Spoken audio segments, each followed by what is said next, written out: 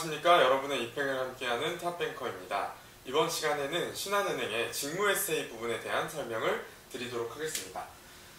자, 직무 에세이. 여러분들이 직무 에세이를 조금 부담스러워 하시는 것 같아요. 그런데 직무 에세이 부분 그렇게 부담스러워 하시지 않으셔도 돼요.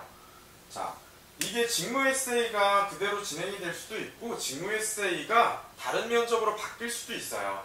그리고 어떤 면접이 추가가 될 수도 있어요. 신한은행은 전통적으로 토론 면접, 면접이랑 PT 면접은 항상 해왔고, 그리고 다른 면접의 경우에는 약간씩 변형이 되는 경우가 있었는데, 뭐 돌발 면접이나 이런 건 있었던 경우가 있고 없었던 경우가 있죠. 자, 그런데 중요한 변화가 이제 필기 시험이 생기면서 적성 검사 대신 NCS를 따로 필기 봤으니 이 적성 검사 보는 시간에 다른 면접 과정이 진행될 여지가 많이 있겠죠. 그래서 과거처럼 직무 에세이가 진행이 되든 추가되는 면접이 있든 여러분이 이 부분을 준비를 하셔야 되는데 그럼 이 부분을 어떻게 준비해야 될지에 대한 이야기를 해볼게요. 자, 직무 에세이. 직무 에세이는 우선 인성 면접 시간에 12명, 한 조를 6명, 6명으로 나누어서 6명이 인성 면접 보는 동안 6명은 직무 에세이 쓰겠어요. 그 다음에는 바꿔서 진행을 하고 자, 그렇게 이제 10분에서 15분 정도 어, 1인당 인성 면접 시간이 이제 진행이 되는 동안 다른 팀은 직무 에세이 시험을 보게 된다. 자, 근데 면접 과정은 항상 바뀔 수 있기 때문에 그냥 아예 여러분이 저건 바뀔 수 있다고 생각을 하시고 접근하시는 게 더 마음이 편하실 것 같아요. 바뀔 수 있다를 전제로 해놓고 그럼 바뀌든 안 바뀌든 간에 어떤 부분을 집중해서 준비해야 되는지에 대한 이야기를 드려볼게요. 자, 기본적으로 기업 분야, WM 분야, ICT 분야에서 직무 수행 내용이 있고 필요 역량으로 이야기되는 부분이 있습니다. 가령 기업금융 WM 분야에 대해서는 신한은행이 창의성, 분석력, 그 다음 솔루션 제공 역량 이런 걸 이야기하고 있고 국내의 금융시장 및 경제지표에 대한 개념 이해를 이야기하고 있고 고자산 고객에 대한 이해와 공감, 자산관리 컨설팅 능력, 재무투자 성향, 분석 및 자산 포트폴리오 분석 능력 이런 것들을 이야기하고 있습니다. 글로벌 시장 경제에 대한 분석적 사고.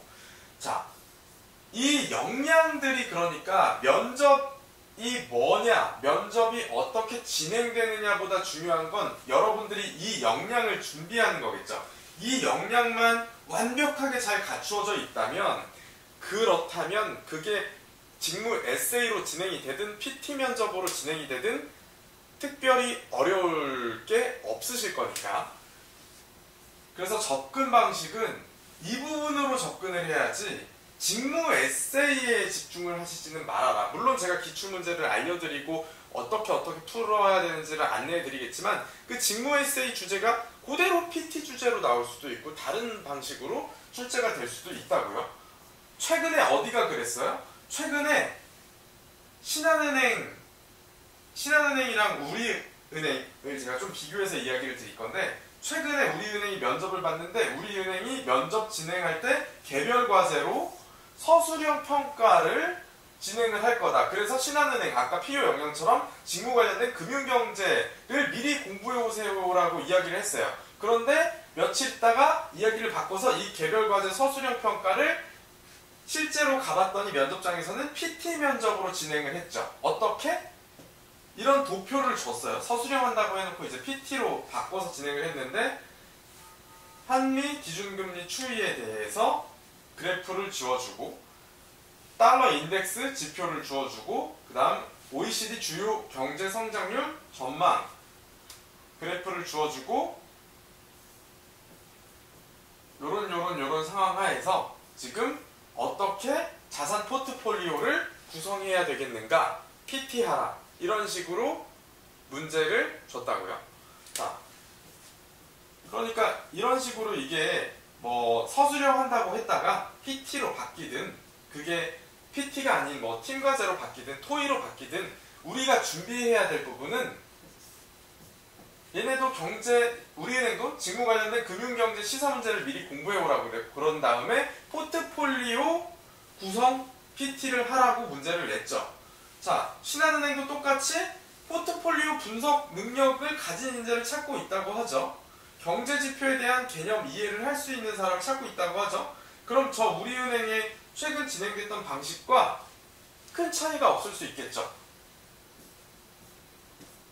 자, 그래서 지금 우리가 준비해야 되는 건 은행이 이야기하는 분석력, 창의성, 직무 적합성에 대한 부분을 준비해야 되는데 분석력에 있어서 높은 평가를 받으려면 은행과 고객에 대한 이해가 많이 되어 있어야 돼요. 고객 니즈 파악이라고 이야기를 하죠. 고객의 니즈가 뭔지를 잘 알고 있어야 돼요. 금리가 올라가는데 금리가 올라가면 가, 가게, 가게를 구성하는 고객들의 needs가 어떻게 되는지를 알아야 그 고객의 needs를 분석을 해서 금융 상품과 서비스를 내가 고객에게 제안할 수 있고 포트폴리오를 제안할 수 있고 그것이 바로 은행이 바라는 창의력이고 그런 창의력을 또 도출해내는데 경제금융에 대한 이해가 필요할 거잖아요.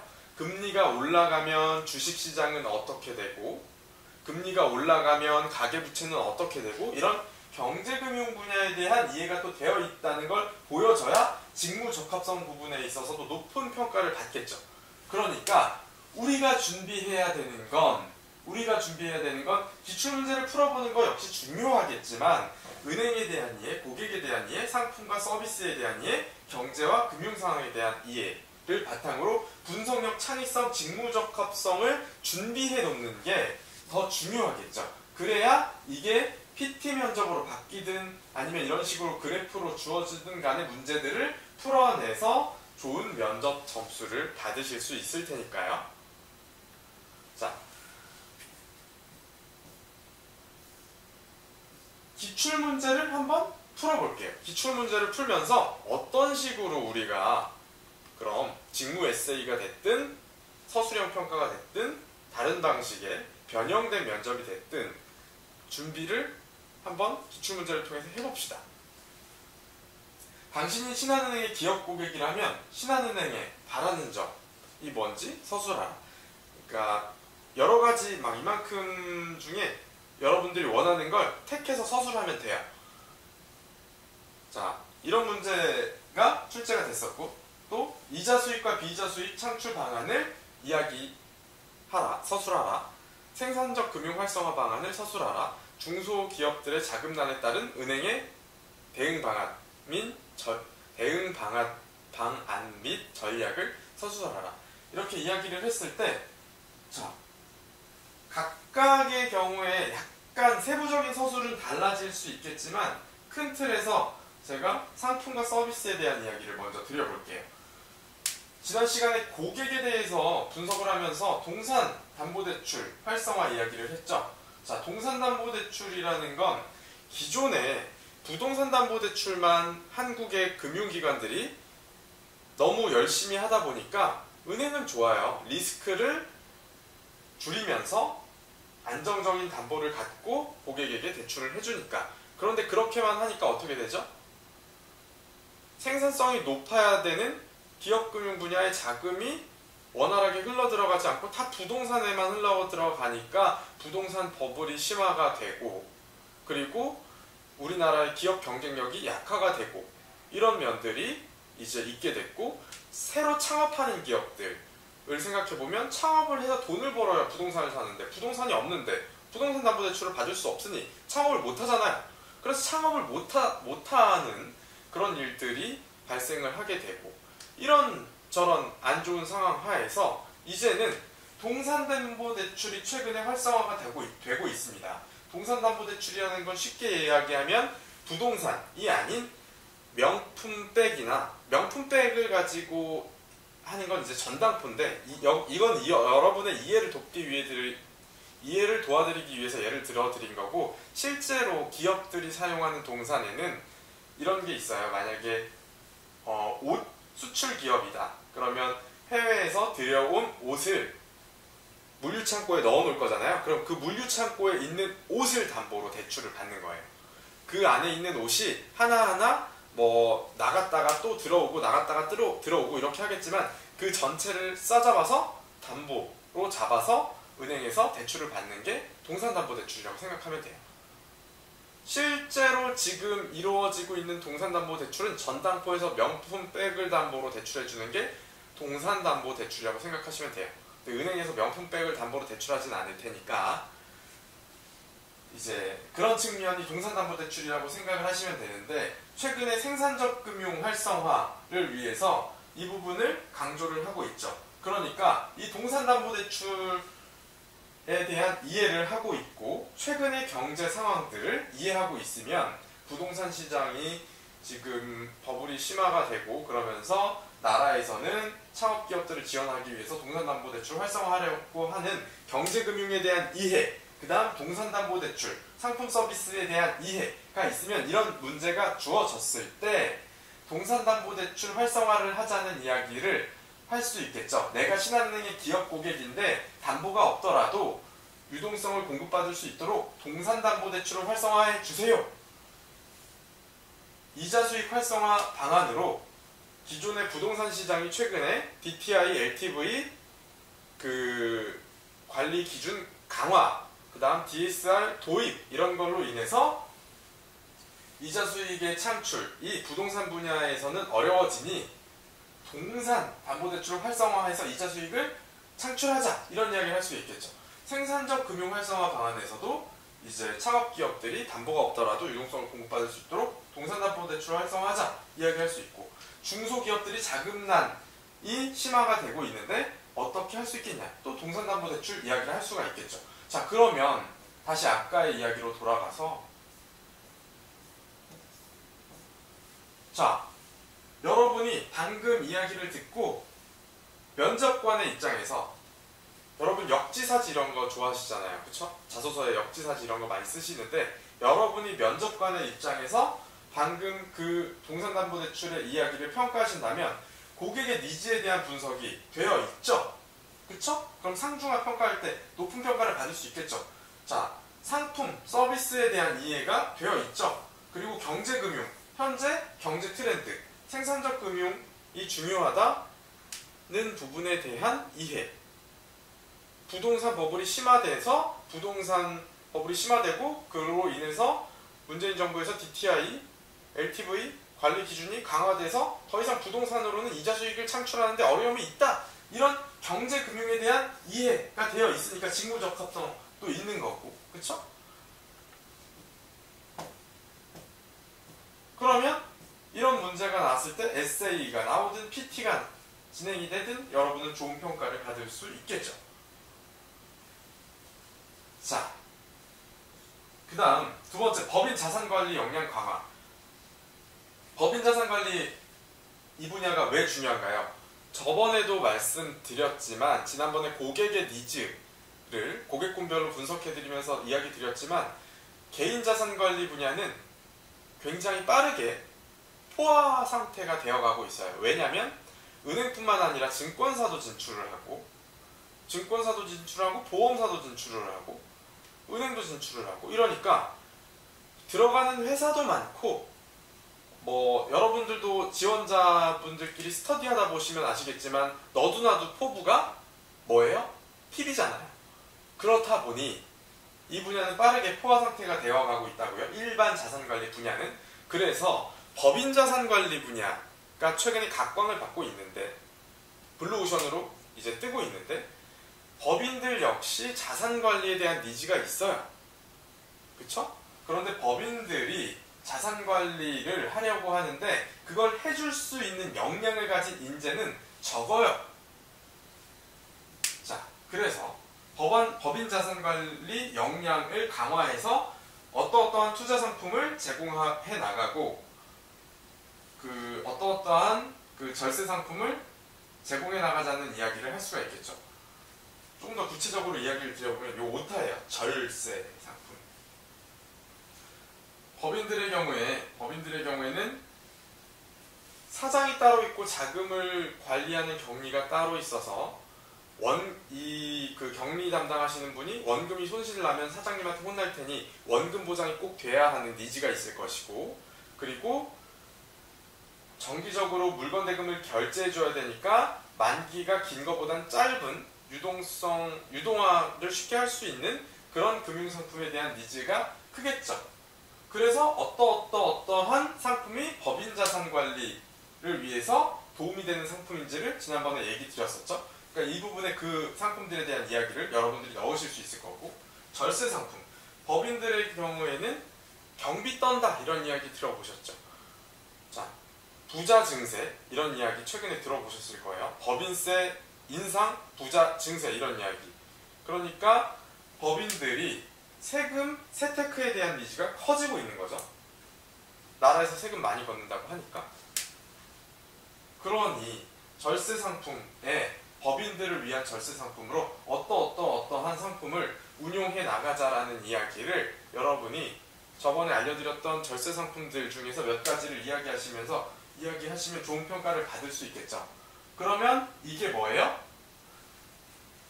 중소기업들이 자금난에 허덕이고 있는데 그거에 따른 대응 방안이 될 수도 있고 투자 상품이니 이건 판매 대행 수수료를 받는 거고 그건 비이자 수익이니까 비이자 수익 창출 방안이 될 수 있는 거고 신한은행의 기업 고객으로서 법인 자산 관리를 해주기를 바라는 마음을 신한은행에 얘기할 수 있겠죠. 여기서 PWM 이야기, CIB 이야기 드렸던 거 같이 할 수가 있겠죠. 내가 신한은행의 기업 고객이면 나는 단순히 은행의 상품뿐만 아니라 자금 조달을 대출로도 할 수, 하고 싶고 사채 발행을 통해서도 하고 싶은데 그래서 이것들을 신한은행이 증권사와 협업, 원신한을 통해서 기업 고객에게 제공해줬으면 좋겠다. 이런 이야기들을 여러분들이 할 수 있겠죠. 자, 그래서 이런 식으로 여러분들이 아까부터 계속 이야기 드리는 건